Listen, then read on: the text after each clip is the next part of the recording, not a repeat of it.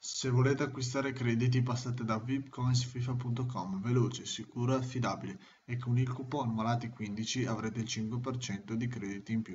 Bella a tutti ragazzi, io sono Markey dello staff di Neolati di Foot e sono qui oggi a portarvi la recensione di Kane in forma, attaccante del Tottenham, protagonista di una stagione strepitosa, infatti si è guadagnato una carta upgrade nel mese di gennaio e ora ha avuto una terza carta in forma grazie alla tripletta effettuata nell'ultima giornata di campionato.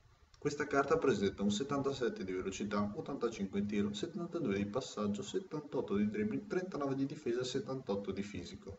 Le statistiche che spiccano sono l'89 di potenza tiro, l'85 nel long shot, l'85 di posizionamento e l'83 di finalizzazione. Partiamo come al solito dalla velocità. 77 sulla carta che si divide in un 73 d'accelerazione, infatti si sente che il suo primo passo è un po' lento, ma se si troverà in campo aperto con il 79 di velocità scatto sarà molto difficile da fermare. Aiutato anche dal 76 di forza fisica che mi è piaciuta perché tiene molto bene le spallate di difensori, infatti non sarà così semplice da fermare, solo dopo due o tre spallate riusciranno a fermarlo i difensori.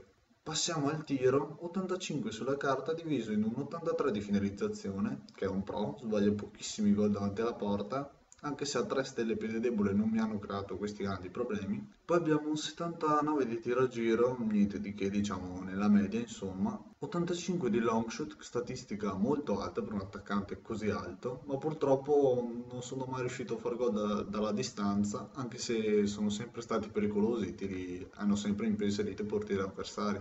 Invece l'89 di potenza tiro è un altro pro di Kane perché tira delle bombe sia da fuori che da dentro l'area, buca veramente le mani ai portieri questo giocatore. Parliamo un attimo del colpo di testa, però anche questo perché è alto 1,88 m con un buon 80 di salto e 82 di precisione testa, aiutato dall'85 di posizionamento, infatti quando le vostre ali corseranno lui si troverà sempre nel posto giusto, nel momento giusto per colpirla di testa.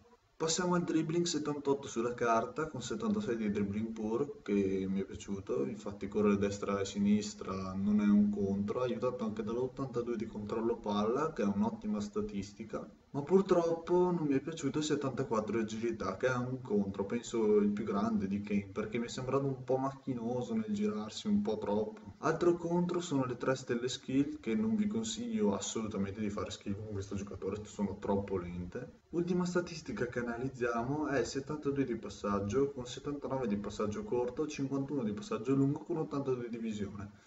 Insomma, diciamo che il passaggio non è nulla di speciale, però mi è piaciuto molto fare le sponde per gli altri giocatori con Kane. Bene ragazzi, la recensione è terminata, riepiloghiamo un attimo pro e contro di questo giocatore. Come pro abbiamo potenza tiro, finalizzazione e colpo di testa.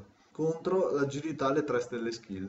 Il voto finale che gli ho dato è un 7 perché Kane sì è un ottimo giocatore però 60.000 crediti sono troppi. In BPL potete, potete trovare attaccanti come Diego Costa, Van Persie, Falcao che rendono uguale o, o anche di più. Iscrivetevi al canale lasciate un mi piace qui è tutto da Marca in Bella